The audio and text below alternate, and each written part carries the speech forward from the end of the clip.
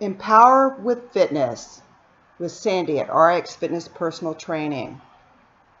Here are two stability ball exercises for your abs that will increase strength and balance all while using multiple muscle systems.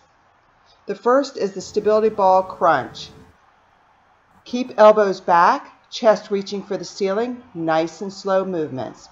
You can increase difficulty by moving back on the ball or less difficult by moving down. If your back starts to tweak, move down on the ball. The next exercises are planks on the stability ball.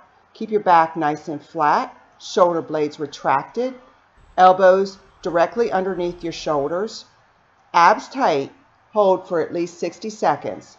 If your back starts to tweak, stop the exercise.